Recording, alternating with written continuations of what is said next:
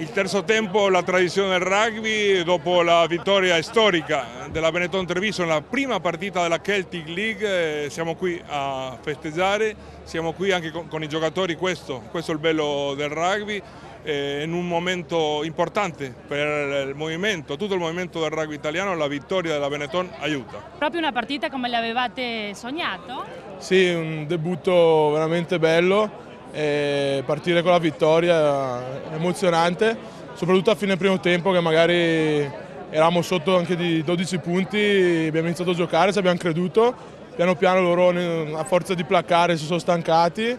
e alla fine siamo venuti fuori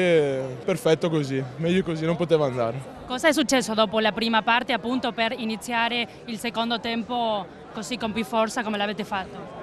Ma l'allenatore ci ha diciamo, cambiato un po' la tattica, ci ha detto di giocare di più, era previsto magari al primo tempo di calciare un po' di più per cercare di giocare nella loro metà campo, invece al secondo tempo abbiamo giocato di più anche palla in mano e siamo riusciti a fare le mete perché per segnare bisogna giocare giustamente. Credo che questa sia stata un po' la chiave e abbiamo magari migliorato un po' la disciplina, nel primo tempo abbiamo preso tanti calci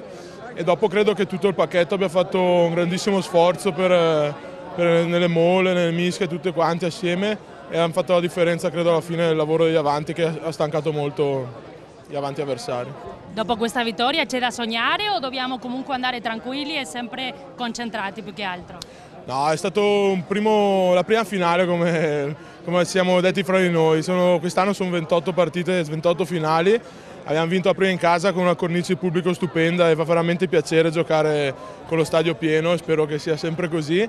e dopo già venerdì sarà un'altra battaglia a Swansea contro gli Ospreys.